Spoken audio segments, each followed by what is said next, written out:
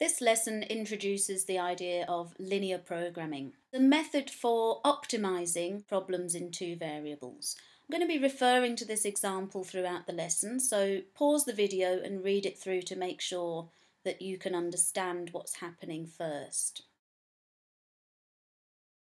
So we have two existing potions, X and Y, each contain certain amounts of elements A, B and C. Our new potion needs to contain the elements as stated in these restrictions.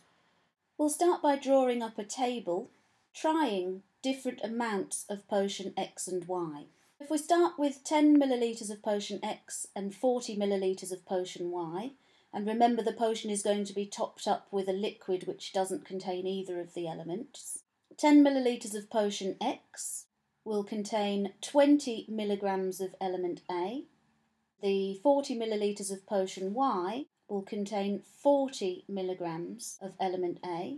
Altogether, we have 60 milligrams of element A. And then for element B, 10 millilitres of potion X contains 20 milligrams of element B. 40 millilitres of potion Y contains 120 milligrams of element B. Altogether, we have 140 milligrams of element B.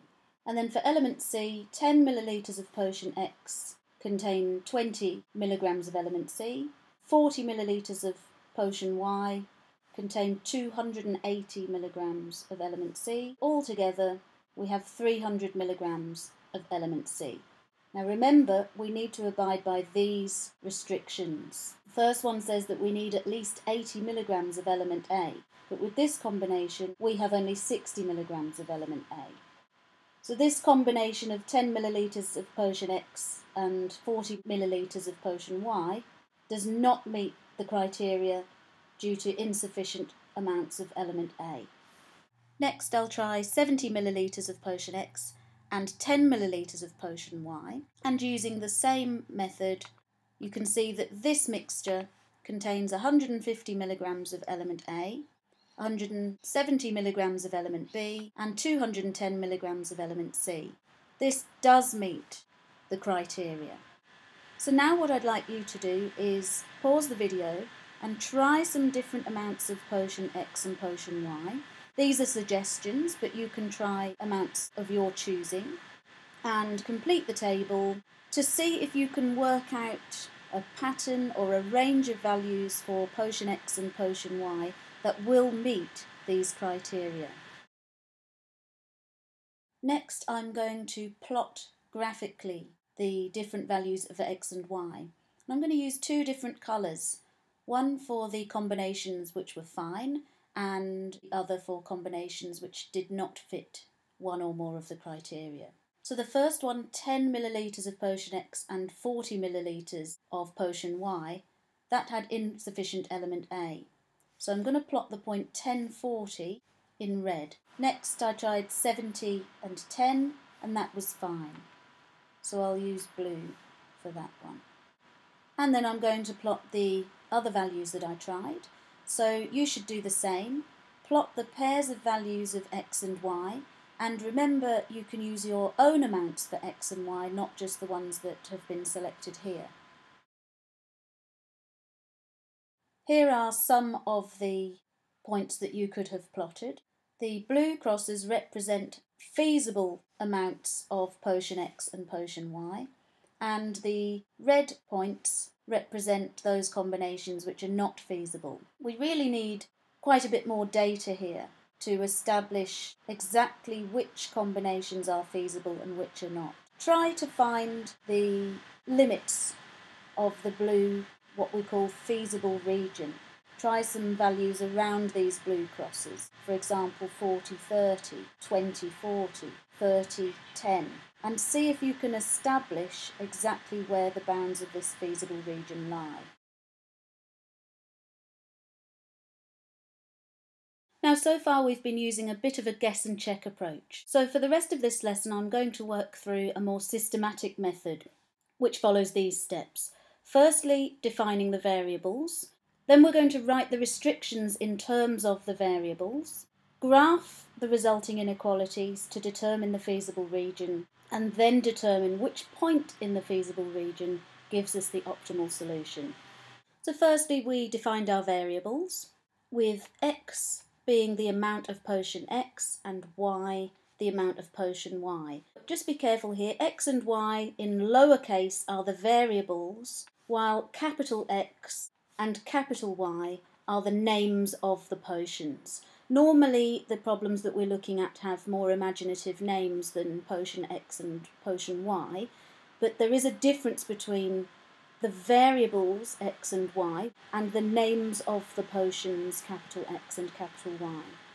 Secondly, we write each of the restrictions in terms of these variables x and y. For example, in x millilitres of potion x, there are 2x milligrams of element A. In y millilitres of potion y, there are y milligrams of element A. And we're told that there must be no more than 160 milligrams of element A in the resulting potion. 2x plus y must be less than or equal to 160. Similarly, we're told that at least 80 milligrams of element A must be in the potion. So 2x plus y must be greater than or equal to 80. See if you can write inequalities to represent the final three restrictions on our potion. Element B comes from 2 milligrams for every milliliter of potion X and 3 milligrams for every milliliter of potion Y. We need to have at least 120 milligrams of element B, but no more than 180 milligrams. And element C comes from 2 milligrams for every milliliter of potion X and 7 milligrams for every milliliter of potion Y, and we've got to have at least 140 milligrams of element C. Now, there are two more inequalities which are not explicitly stated but we should be able to ascertain from the context. X and Y cannot be negative. So x and y both greater than or equal to zero are implicit in the context of the problem. And you should always look out for these additional inequalities which are not stated anywhere but are obvious from the context. We'll just have a quick review of how to graph inequalities.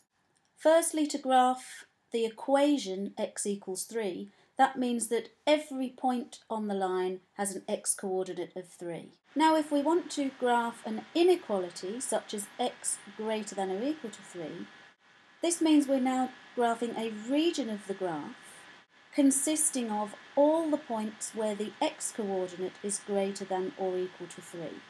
So if we draw that line x equals 3, every point to the right of this line has an x-coordinate which is greater than or equal to 3. And so to indicate that, we shade this side of the line. Now, what if we need to graph an inequality where all of the x values are greater than but not equal to 3? If we were just dealing with integer solutions, then we could move our line to x equals 4 and shade to the right of that. But if we're dealing with any values, just not including 3. So it could be 3.1, 3.0001. We use a dotted line, still on x equals 3, to show that we're including every point to the right of that line, just not anything that is exactly on that line. So to draw an inequality such as 2x plus 3y is less than or equal to 12, we first need to draw the line 2x plus 3y equals 12. Now you might be tempted to try and rearrange this into gradient intercept form, and you certainly could do that.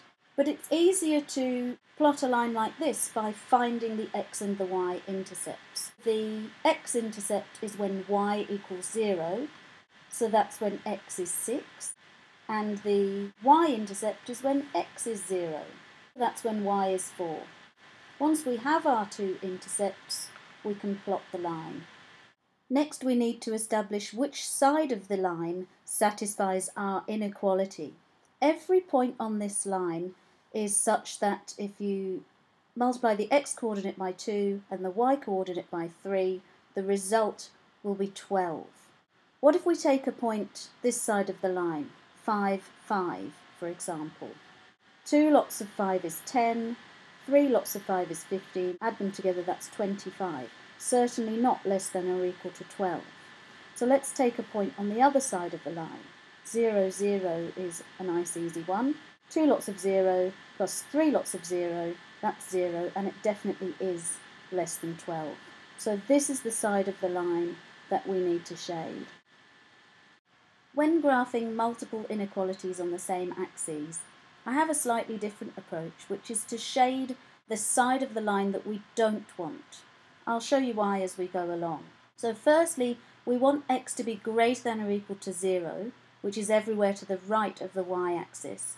But I'm just going to shade lightly to the left of the y-axis. This is the area that we do not want. Similarly, we want y to be greater than or equal to 0, so I'm going to shade the side of the x-axis where y is less than 0.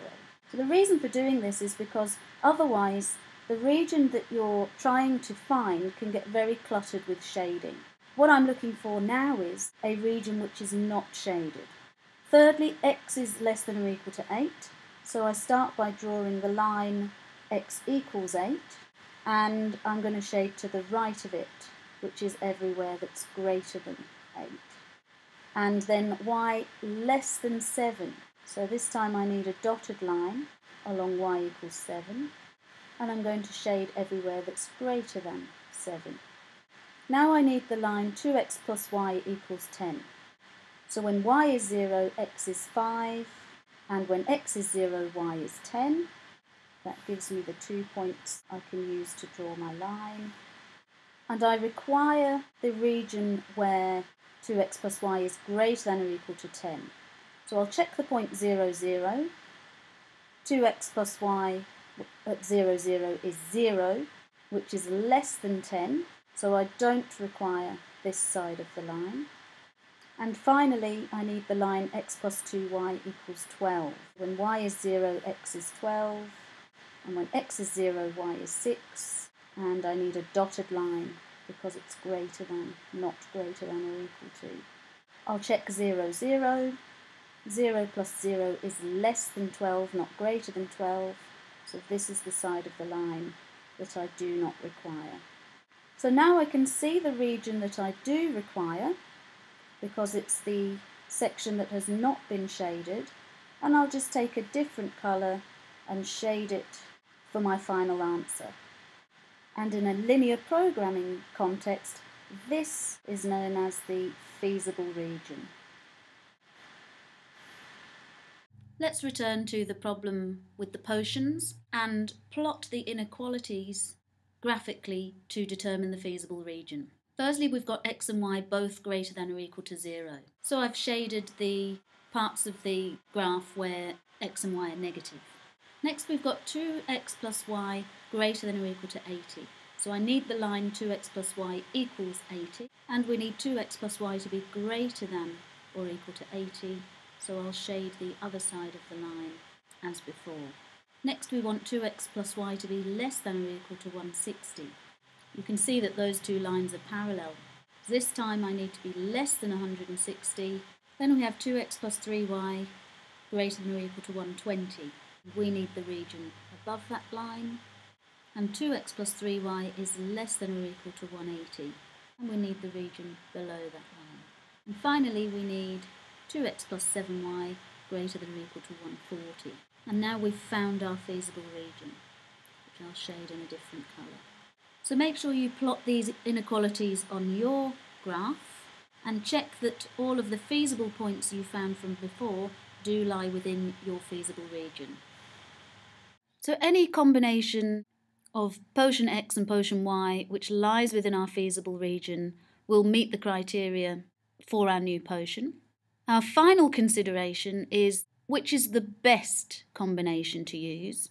And from the pharmacist's point of view, that will largely depend on cost. For example, 40 millilitres of potion X and 20 millilitres of potion Y is feasible, but is it the cheapest from the pharmacist's point of view?